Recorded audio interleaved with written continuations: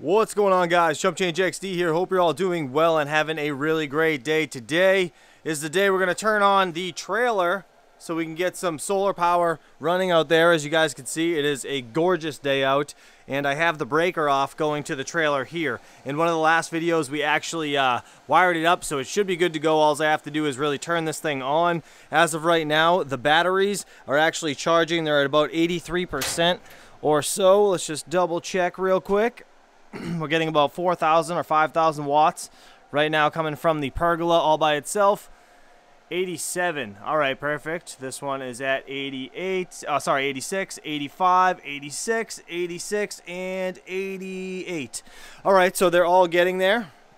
Again, once the other 6000 XP is uh, turned on, these things will end up charging a lot more evenly, or at least I hope so. Uh, but yeah, anyways, so this thing has been running flawlessly throughout the night. It's actually the first night that I had this thing on fully. I've been pulling 460 watts throughout the entire night. I stopped, um, or I actually stopped getting solar power last night at about 5.30, 6 o'clock at night.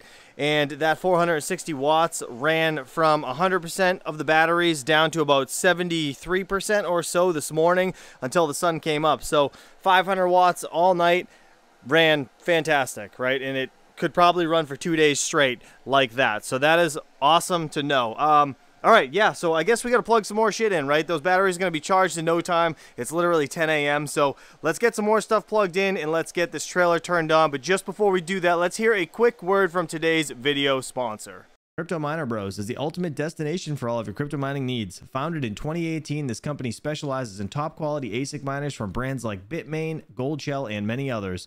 Whether you're a newbie or a pro, they offer competitive prices, fast shipping, and easy payment options worldwide. Pay with bank transfer, Bitcoin, or even other cryptocurrencies, no cash needed. The prices you see on their website include taxes, shipping, and DDP to your door, so there are no surprises at checkout. Join tens of thousands of satisfied customers who trust Crypto Miner Bros for their hardware fulfillment, transparent prices, and world class service. Check out CryptoMinerBros.com, link down below. There it is, 5,000 watts we're getting right now, and the battery's 87% is what it's registering at the app from this uh, little Wi-Fi dongle here. This thing is like the best monitoring app. It works great. Again, if you guys are interested in anything solar, go check out the link down below, Signature Solar. These inverters and all their stuff they have actually available is amazing. Anyways, let's uh, turn the trailer on, and let's get out there and turn some stuff on. All right that PDU should be coming on in no time. Let's get out there and make sure the PDU is now on. Man, gorgeous day for 10 a.m. And uh, right now, springtime is actually the perfect time for this solar uh, shed to actually be getting sun. Literally at like 11 or 12 o'clock, that thing is dead in the sun until it goes down at about 6 o'clock at night or 7 o'clock at night. Uh, the pergola over there is the one that's killing it right now. Again, 5,000 watts coming in from it. And yeah, this is where I used to have all the solar shit. And that is no longer, as you can see. I have all this stuff still. I do need to move it, but that's literally later date going into the other shed so it could charge my batteries and stuff. Again, I don't want that stuff in my house just because they're not fire suppressed batteries like the EG4 LL batteries. They have fire suppression built in. And uh, yeah, it just makes me a lot more comfortable. So let's see what we got. Okay, as of right now, the PDU itself is powered on, but everything needs to start clicking on one at a time. It basically tests all of the outlets before it actually fires anything up, and I do need to get into the dashboard to turn some things on. So I think what we're going to do today is probably turn on the KS2 Lite. Actually, I have enough to turn on literally everything in here for the most part. So we're to get the, uh... oh, is this already on? No? That looks like it's on. That's crazy. I thought those lights were lit up. Um, this is the EDG1M. This is the Dogecoin Litecoin miner from Goldshell. Shout out to them. If you guys didn't see that video, go check it out. But I'm going to get this on today.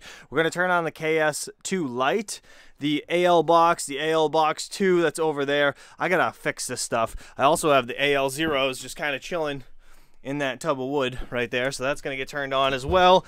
And yeah, this Kaspa KS0 contraption here. Oh, there we go. All the all the ports are turning on right now, one at a time. Individually, everything else is probably off. So that's awesome. All right, yeah. So what I'm gonna do is get some stuff up and running in here. We're gonna see how much wattage we're actually pulling in here. Ooh, you know what? That's one thing I didn't think of. I need a monitoring system to see how many watts we're actually pulling out here. I'm gonna have to change that outlet at some point to uh, make that a metered box.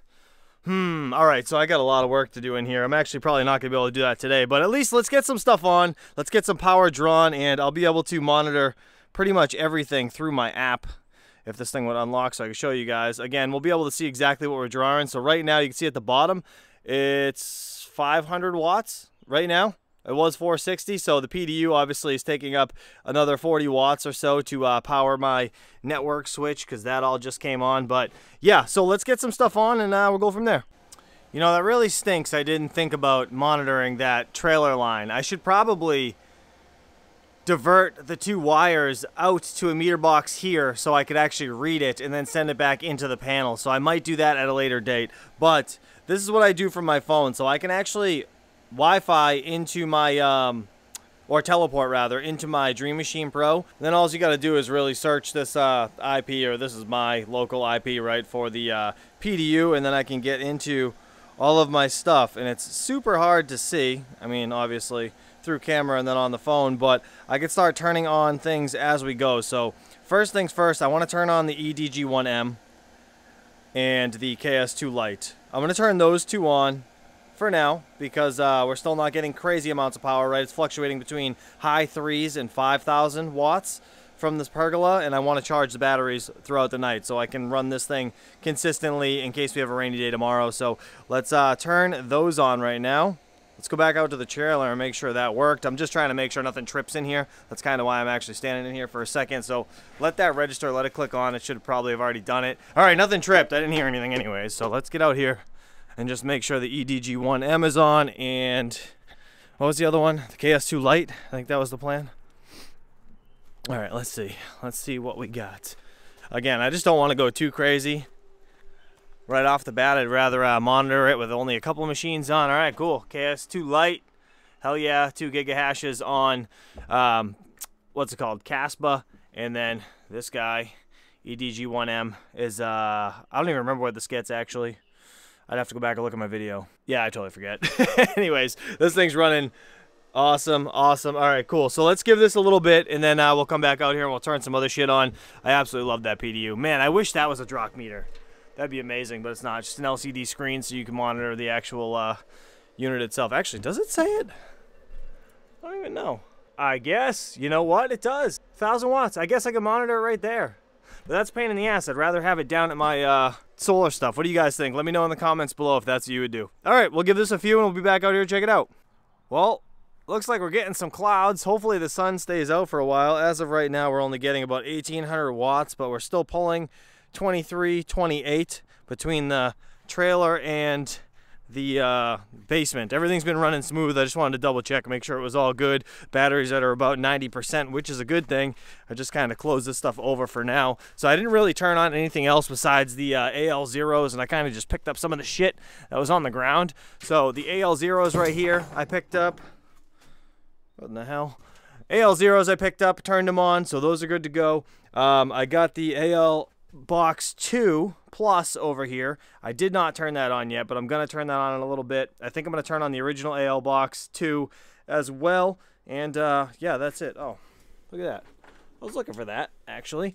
All right, yeah, that's uh, pretty much it, guys. Really nothing else in this video. I just wanted to monitor and make sure everything is uh, up and running good. But yeah, so I guess my next plans here is I got to figure out a monitoring device or meter somehow down in the uh, actual basement, right where my uh, panel is and all that stuff. So we're not like, I don't know, just kind of guessing what we're running and looking at our phones. I'd rather see it when I can just look real quick instead of having to like get into my PDU and shit and see what's on and all that. So it just makes way more sense to me. But yeah, so plan is we're gonna be running the wires from the solar shed in one of the next upcoming videos right along this uh, kind of, you can see the ripped up grass here where I pulled that last line from that was uh, coming from the pergola over to the uh, solar trailer. And now that I pulled that back and got that into the house, as you guys can see under here, worked out fantastic. I got the other one that's going to be going up right there. So there's going to be another pipe next to this, 90 in this way. and then boom, picking that shit up, and everything will be mint. But I do need to figure out what um I have to do to get these things to communicate properly together because that is something again I've never done. But as of right now, AL Box 2, sorry, AE Pro rather is uh, up here running again 460 watts running perfectly fine it's kind of nice to see those two meters there running actually uh, to make sure there's no discrepancy between the two. They're actually both exactly the same which is cool. And I got to get my uh, mini Doge 3 plus actually out of my garage and I'm gonna plug that in down here as well. You know what? Let me just go grab that right now. So I had this thing plugged in in here actually heating my garage for the winter just kind of keeping this bathroom kind of warm because, uh, yeah, you don't want the pipes to freeze, right? So I wanted to take the chill out of here, so that's what this guy was doing. As of right now, it's 52 degrees in here, but it's above freezing, so I'm not really too concerned with it. Sorry about the freaking mess. These kids are crazy. What's up, pup? Checking me out, following me around? All right, let's go plug this bitch in. Just found an extra cable I hid under my uh, network switch for emergency use cases right? Now let's get this guy plugged in. There we go. Get this plugged in up here. Uh, let's see, I guess we'll go, we'll skip one, do the next one. I love how this has got the locking thing too. So that'll actually lock the female end into the uh, PDU, which is awesome in case you tug on this thing.